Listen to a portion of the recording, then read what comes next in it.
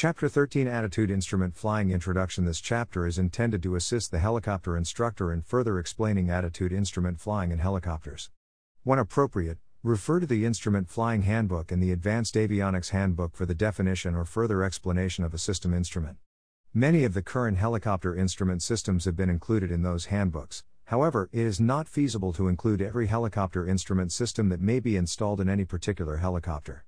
Instrument systems on different aircraft serve the same purpose, however, the configuration of the instrument panel and the design may be somewhat different.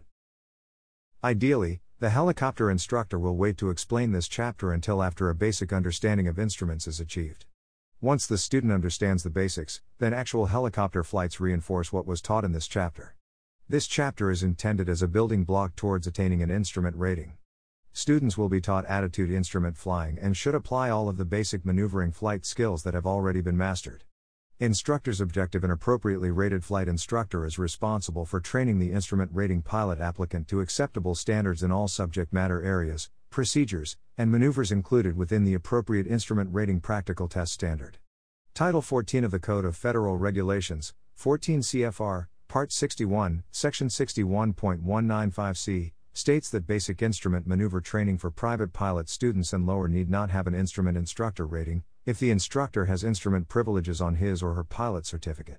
Because their teaching activities affect the development of safe and proficient pilots, flight instructors should exhibit a high level of knowledge, skill, and the ability to impart that knowledge and skill to students. It is important to find out the student's background during the initial portion of instrument training. New students with only basic maneuvering instruction provide a different set of challenges for the instructor than a more experienced pilot, for example, a pilot who is flown by instruments in a fixed wing aircraft. The instructor must know who is being trained and what tendencies or trends may commonly be observed. Just as with any other instructional approach, Instructor ability to identify and correct student error is based on the instructor's ability to cull from knowledge and experience. The instructor should reference the specific helicopter sections in the Instrument Flying Handbook, which includes full discussions on helping an airplane pilot transition to helicopters. Additionally, the flight instructor must certify that the applicant is able to perform safely as an instrument pilot and is competent to pass the required practical test. Discuss with the student Flying with the instruments is essentially visual flying with the flight instruments substituted for the various reference points on the helicopter and the natural horizon.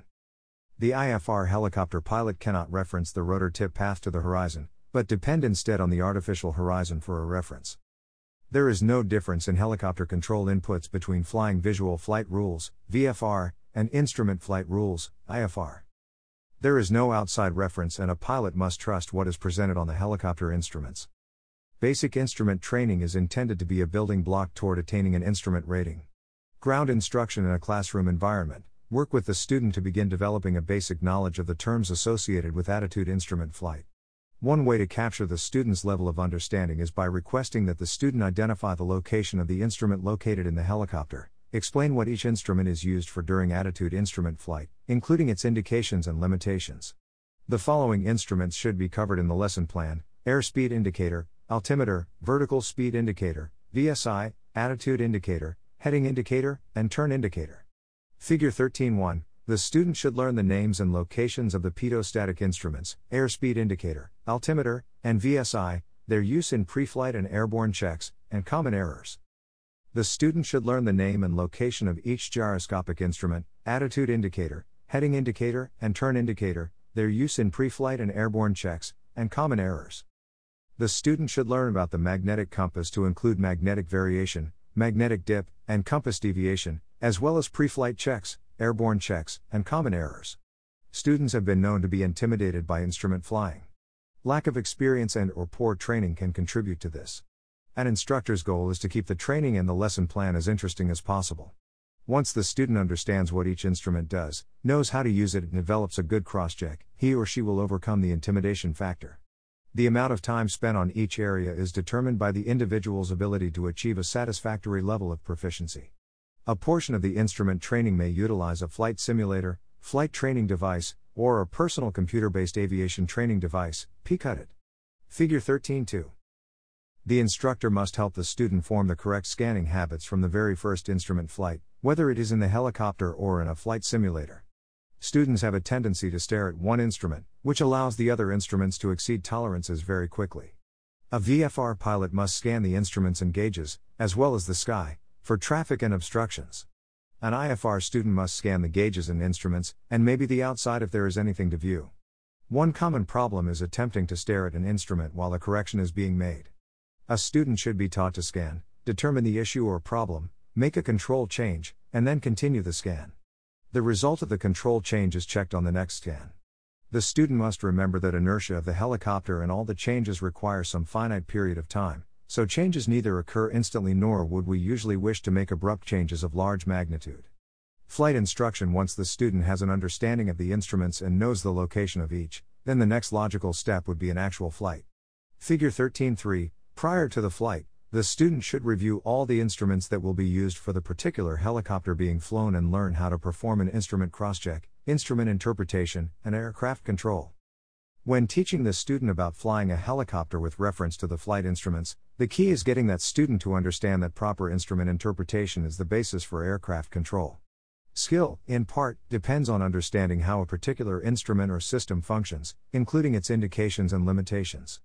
With this knowledge, the student can quickly interpret an instrument indication and translate that information into a control response. Start with simple tasks, and then progress to the more complex tasks.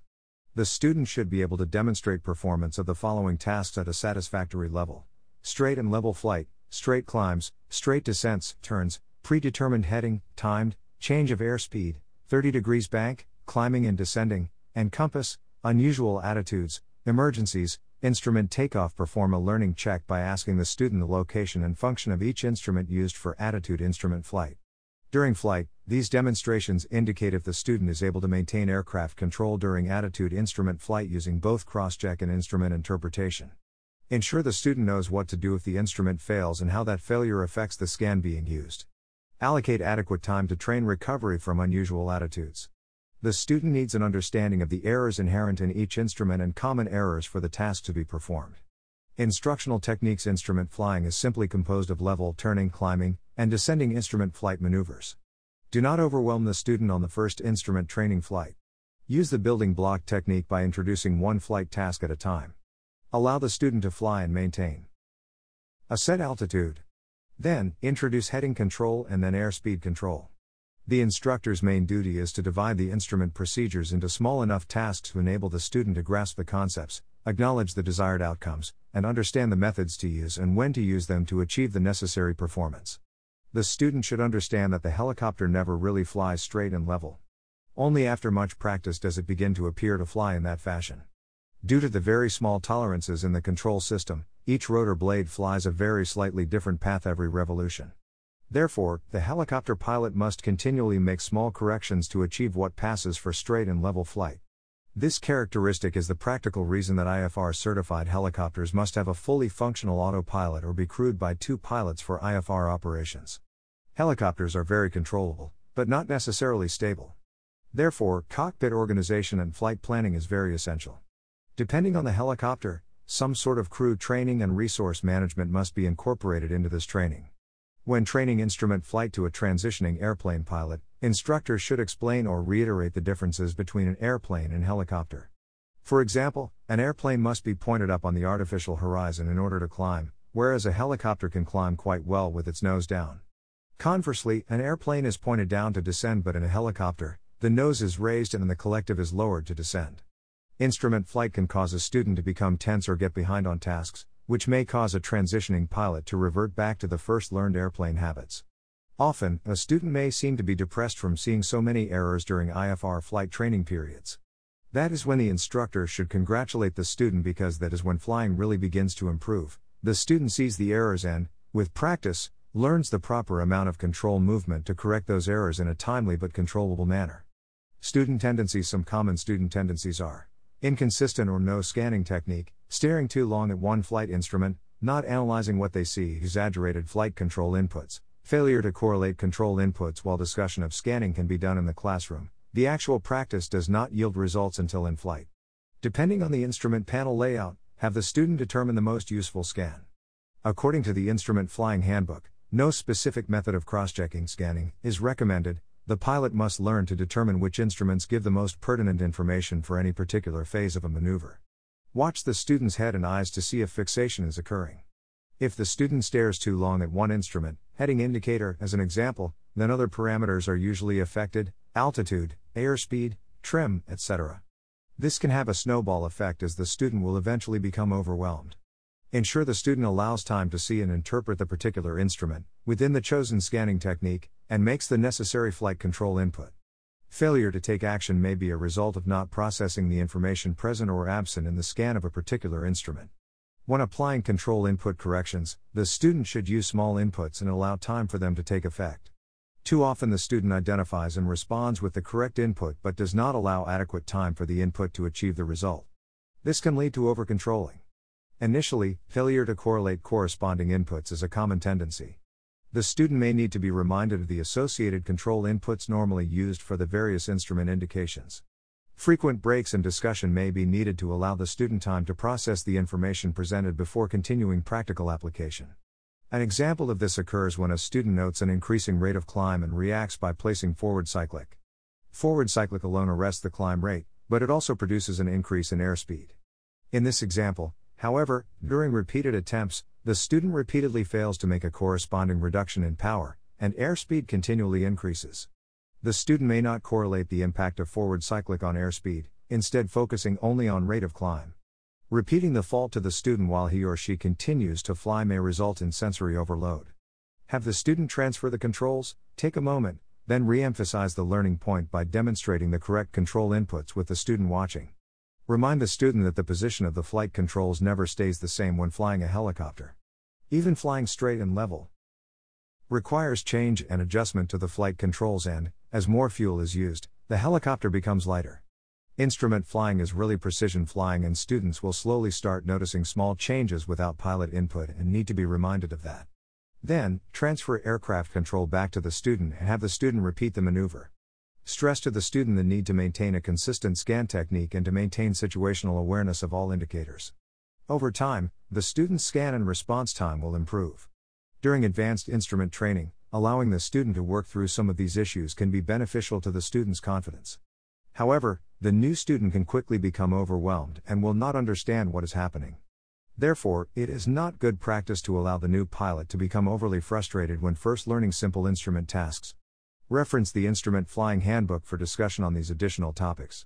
Control instruments, performance instruments, navigation instruments, four step process used to change attitude, establish, trim, cross check, and adjust. Apply the four step process for pitch control, bank control, and power control, primary and supporting method, pitch control, straight and level flight, primary pitch, primary bank, primary yaw, and primary power. Scanning techniques of attitude instrument flying, Common errors of attitude instrument flying, fixation, mission, and emphasis. More detailed information, as well as additional explanations, can be found in the following references Aviation Instructor's Handbook, Instrument Flying Handbook, Helicopter Flying Handbook, Instrument Procedures Handbook, Aeronautical Information Manual, AIM, Advanced Avionics Handbook. Instructional objectives continue to reinforce the basic standards throughout this training. Proper performance planning can be used to demonstrate the understanding and use of power settings in stabilized instrument flight techniques. Knowing the power settings used for climbs, level flight, and approaches as well as the various instrument flight modes decreases confusion and or searching by the student pilot. During use of the checklist, help the student understand the importance of checking items, such as flight instruments during hover checks. Also, tie in the importance of altimeter settings and the fluctuations that may occur when hovering IGE. The instructor should be explaining the reasons for the instrument takeoff following the maximum performance takeoff profile in order to gain altitude as quickly as possible to clear obstructions and the specified minimum instrument airspeed for that helicopter. Special care should be taken to fully explain helicopter approaches, required airspeeds, and the underlying reasons for those restrictions. The instructor's role is to identify, analyze, and make specific corrective suggestions to help the student. Pointing out parameter errors, such as, your heading is off, your altitude is off, your airspeed is off. Without providing detailed corrective action does not help the student. Assess the cause and provide methods or techniques to correct the situation. Whether a ground or flight training session, each training period should end with a thorough debriefing of what transpired and what will be covered in the next training period.